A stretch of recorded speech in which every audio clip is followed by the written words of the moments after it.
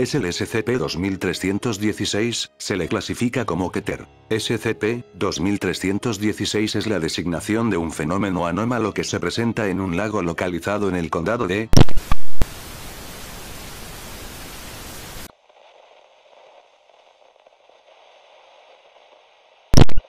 SCP-2316 se manifiesta como un grupo de cadáveres humanos flotando en un pequeño grupo en la superficie del agua.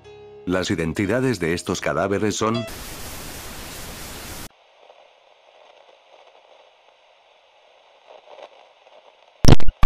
Aunque las pruebas de ADN no han sido concluyentes. Mientras que SCP-2316 parece estar conformado por varios seres individuales, se tiene la teoría de que SCP-2316 podría ser una entidad compuesta de una conciencia colectiva.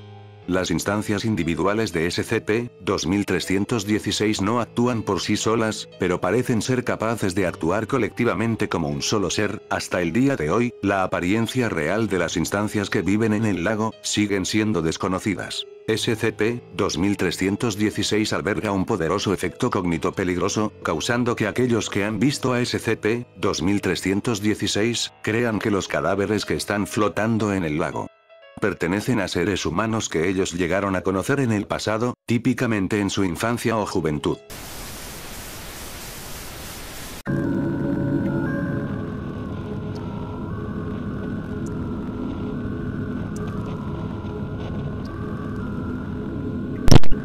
Intentar entrar en contacto con los cadáveres del lago, hará que aparezcan más instancias con apariencia de cadáveres. Las instancias adicionales solo sirven para reforzar y aumentar la fuerza del efecto cognito peligro, que termina obligando a las personas afectadas a entrar en el lago. Los individuos que entran al lago de esta manera se pierden, y hasta la fecha ninguno ha sido recuperado. Bajo ninguna circunstancia, el personal de la fundación debe acercarse al SCP-2316. La observación del lago solo debe llevarse a cabo mediante sondas teledirigidas que utilicen equipos de grabación de vídeo y audio. Solo el personal adecuadamente calificado para la exposición a anomalías cognito-peligrosas puede revisar las imágenes y el audio del SCP-2316. El lago en el que SCP-2316 se encuentra ha sido puesto en cuarentena y vallado, y debe ser patrullado rutinariamente por individuos que no han estado expuestos al SCP-2316, y no tienen conocimiento previo de sus características. Los individuos que intentan eludir la cuarentena forzada deben ser aprehendidos y trasladados al sitio 33 para una evaluación completa de la influencia cognitiva.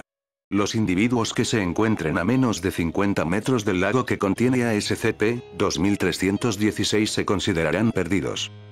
Si se llega a presentar una situación donde un miembro del personal se logra acercar o llega a visualizar al SCP, se recomienda que éste mantenga la calma, no se mueva, mantenga la vista fija hacia adelante, y repita las siguientes palabras una y otra vez. No reconozco los cuerpos en el agua. No reconozco los cuerpos en el agua. No reconozco los cuerpos en el agua. No reconozco los cuerpos en el agua. No reconozco los cuerpos en el agua. No reconozco.